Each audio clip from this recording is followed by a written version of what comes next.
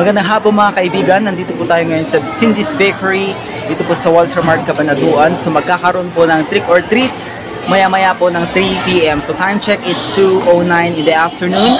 So ngayon naghahanda na po kami ng ah, mga candies na ipamimigay po mamaya po sa mga bata. So ito po ang aming ginawa.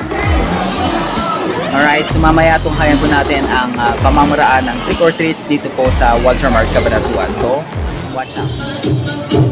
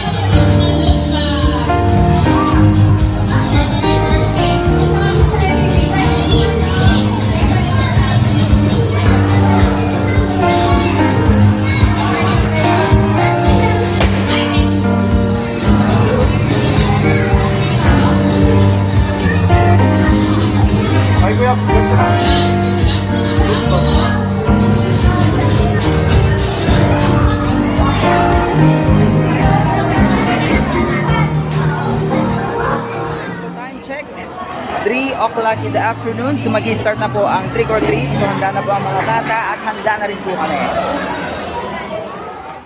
Ayun, so parating naman yung mga bata.